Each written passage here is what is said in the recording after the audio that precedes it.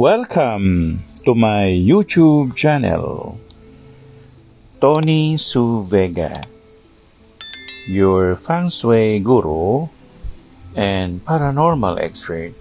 Horoscope, January 17, 2024, Wednesday.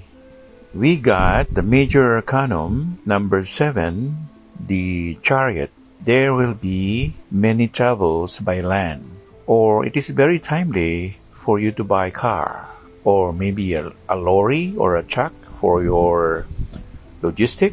There are several shootings or filmmaking at this time in preparation for many award-winning bodies outside the country, the Philippines.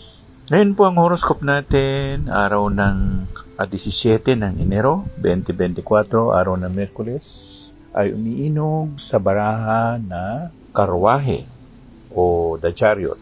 Ang inaasahan natin na mga biyahe pagpunta sa lugar na malayo-layo dadaan sa lupa. At marami rin gumagawa ng pelikula sa ngayon dahil marami-rami na rin ang mga award-winning bodies available sa ating mga filmologist o gumagawa ng pelikula.